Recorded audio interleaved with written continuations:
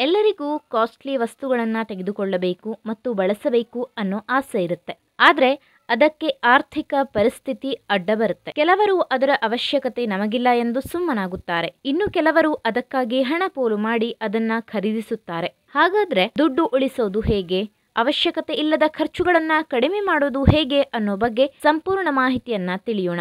ಆದರೆ ಅದಕ್ಕೂ ಮುನ್ನ ನೀವಿನ್ನು ನಮ್ಮ ಚಾನಲ್ನ ಸಬ್ಸ್ಕ್ರೈಬ್ ಮಾಡದಿದ್ದಲ್ಲಿ ಬೇಗ ಸಬ್ಸ್ಕ್ರೈಬ್ ಆಗಿ ಪಕ್ಕದಲ್ಲಿರುವ ಬೆಲ್ ಐಕಾನ್ ಪ್ರೆಸ್ ಮಾಡಿ. ಜಾಣ, ಜಗ್ಗ ಮತ್ತು ಪೆದ್ದ ಪರಮನೆಂಬ ಹುಡುಗರಿದ್ದರು. ಒಂದು ದೊಡ್ಡ ಆಡ್ ಬೋರ್ಡ್ ನೋಡಿ ಅದರಲ್ಲಿರುವ ಸ್ಮಾರ್ಟ್ ವಾಚ್ ಖರೀದಿಸಬೇಕು ಅಂತ ಇಬ್ಬರಿಗೂ ಅನ್ನಿಸಿತು. ಪೆದ್ದ ಪರಮ ಮರುದಿನವೇ ಆ ವಾಚನ್ನ ಆರ್ಡರ್ ಮಾಡಿದ, ಖರೀದಿಸಿದ. ಜಾಣ, ಜಗ್ಗನ ಮುಂದೆ ಅದನ್ನ ಹಾಕಿಕೊಂಡು ನಾನೇ ಮೊದಲು ಆ ವಾಚನ್ನ ಖರೀದಿಸಿದೆ ಎಂದು ಬೀಗಿದ. ಕೆಲ ದಿನಗಳಲ್ಲೇ ಅದನ್ನ ಮೂಲೆಗೆಸೆದ.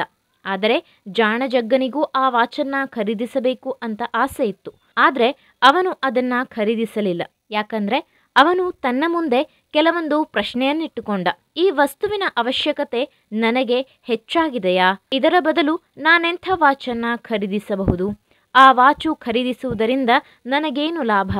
ಹೀಗೆ ಕೆಲವು ಪ್ರಶ್ನೆಗಳು ಅವನ ಎದುರು ಬಂದವು. ಅದಕ್ಕೆ ಉತ್ತರವಾಗಿ, ನಾನು ಬರೀ ಶೋಕಿಗಾಗಿ ಆ ವಾಚನ್ನ ಖರೀದಿಸಬೇಕಷ್ಟೆ.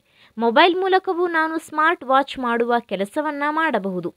ಒಂದು ಸಿಂಪಲ್ ವಾಚ್ ಇದ್ದರೆ ಅದರಿಂದಲೂ ಸಮಯ ನೋಡಬಹುದು.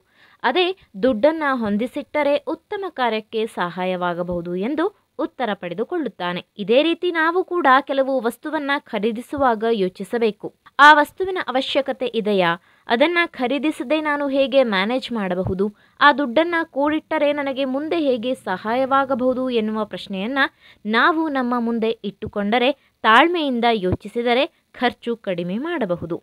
ಈ ಮಾಹಿತಿ ನಿಮಗೆ ಇಷ್ಟವಾಗಿದ್ದಲ್ಲಿ ಈ ಬಗ್ಗೆ ಕಮೆಂಟ್ ಮಾಡಿ ವಿಡಿಯೋನ ಲೈಕ್ ಮಾಡಿ ಶೇರ್ ಮಾಡಿ. ಒನ್ಸ್ ಅಗೇನ್ ನಮ್ಮ ಚಾನಲ್ನ ಸಬ್ಸ್ಕ್ರೈಬ್ ಮಾಡದಿದ್ದಲ್ಲಿ ಬೇಗ ಸಬ್ಸ್ಕ್ರೈಬ್ ಮಾಡಿ. ಧನ್ಯವಾದ.